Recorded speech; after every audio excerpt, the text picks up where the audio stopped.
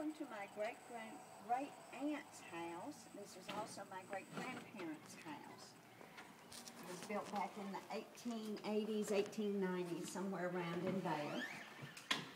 This is not the way that the um, that the uh, entrance to the upstairs was when I was a child.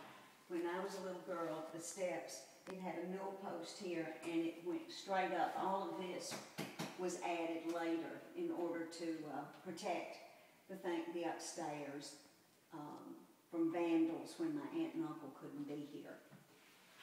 This room over here was the living room, and back many, many years ago, there was a, uh, a coal burning stove here. And my aunt always had her secretary here. She had a beautiful long table here that she had a lamp on that we were never to touch. And um, she would be very upset today to know that, that something happened to that lamp.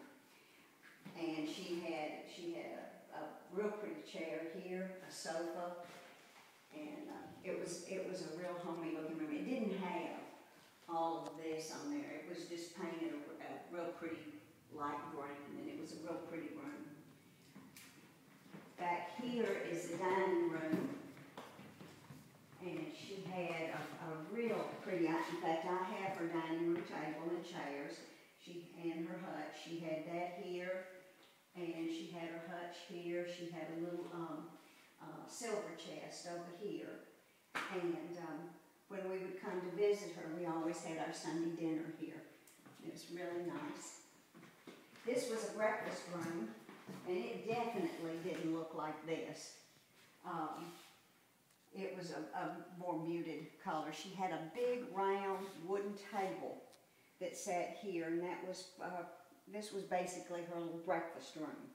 I don't know what it was used for when my um, great-grandparents had it, but that was what it was used for then. And then my grandmother had a china cabinet that um, used to sit here. This is the kitchen. The kitchen um, had a table right here. The refrigerator went over here. And then in later years, my, um, my aunt had a washer and dryer here. And then this went out to the backyard and to the outhouse. For many years, that's all we had. okay. You go around here, this used to just be a, a porch, and they added a, a bathroom here.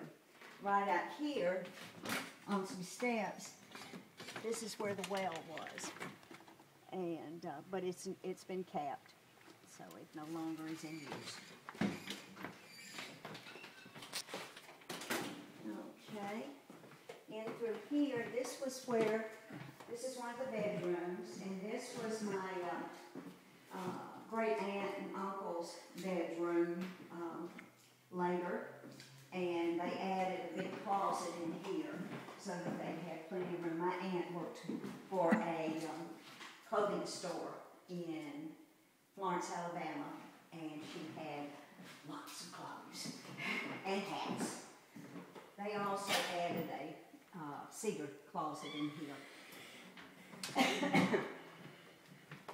I was thinking, this floor is not original to the house, but all the other floors are original to the house. And as you can see, this one has a little bit of a wave to it, but it's, it's nice old wood. This was, this was, um, I don't think this was always a bedroom. In fact, the living room may have been here, and that may have been the dining room at one point in time. But this was uh, where we used to sleep when we came to visit. And there was a bed here. She had a real pretty um, vanity over here and a, um, a chest of drawers. And so it was, and it, uh, all, like I say, all this stuff's been added since. Uh, none of this was the way it, it was to begin with. Upstairs there are, let's see, one, two, three, four more bedrooms up there. And the original wallpaper is up there on, on them. There are, I believe, a couple of iron beds up there, uh, several wardrobes, and um, some furniture uh, that made of had. So anyway, that's, that's about it for the, for the house. Um, we've enjoyed it.